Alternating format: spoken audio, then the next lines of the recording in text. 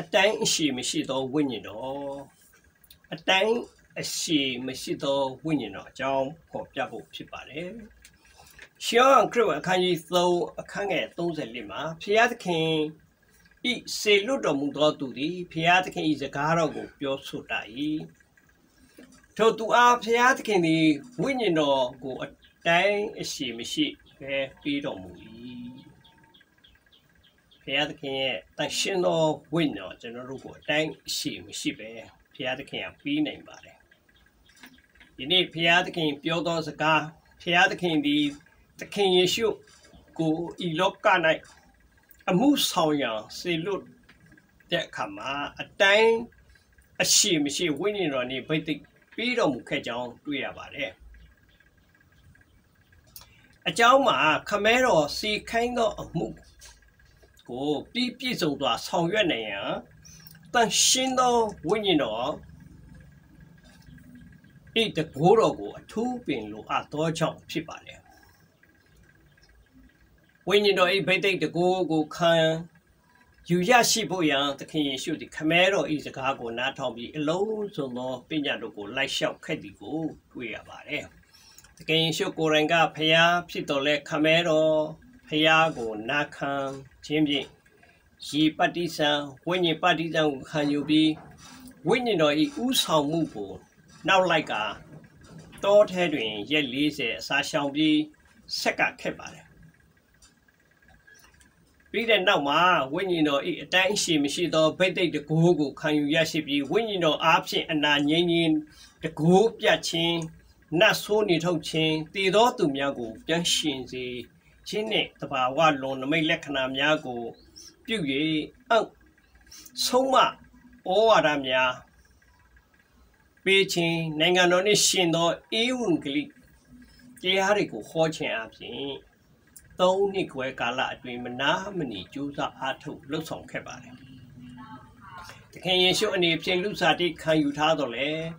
အမှုတော်မြတ်ထဲတွင် အာအင်ကိုခံသွားခြင်းစိတ်ပြည့်အားလျော့ခြင်း ညီးငွေ့ပြီးခြင်းမရှိဘဲနဲ့အမြဲတမ်းကြမ်းမှခွန်အားနှင့်ပြည့်ဝနေရခြင်းမှာတန်ရှင်းသောဝိညာဉ်တော်၏ဗိတ်သိက်တကူကြောင့်ဖြစ်ပါတယ်။တခင်ယေရှုသည်ထိုဗိတ်သိက်တကိုးနှင့်အစဉ်ပြည့်ဝဖို့အတွက်နာနဲ့စောစောထား၍ခမဲတော်နှင့်အမြဲတမ်းအချိန်ယူကာခမဲတော်ပြောသမျှကို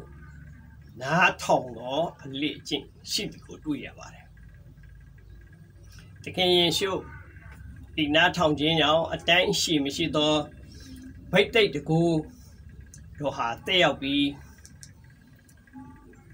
ခမဲတော်သည်အတိုင်းရှိမရှိသောဗိတ်သိက်တကူစေခိုင်းသမျှအမှုများတို့ကိုပြီးပြည့်စုံအောင်လှုပ်ဆောင်နိုင်ခဲ့ခြင်းဖြစ်ပါတယ်ကျွန်တော်တို့ဒီအသက်တာ၌လည်းသခင်ယေရှုနီးတူနားထောင်ခြင်းအသက်တာ ရှိဖို့ရန်အရေးကြီးပါတယ်ကျွန်တော်တို့ဘက်ကဘုရားသခင်ဤစကားကိုနားထောင်ပြီး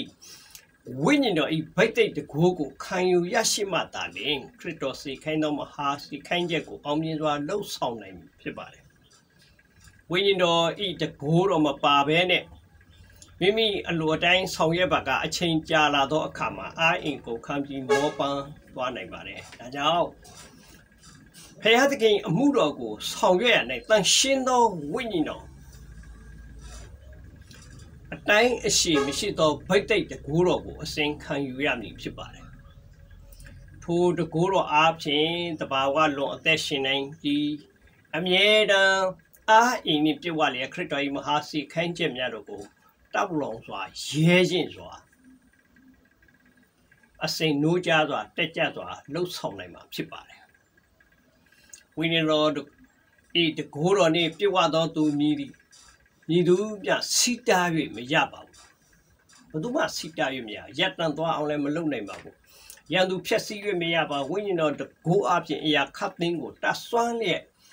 ရန်သူလူယူထားသောအရာများကိုပြန်လဲတိုက်ယူနိုင်ပြီဖြစ်ပါတယ်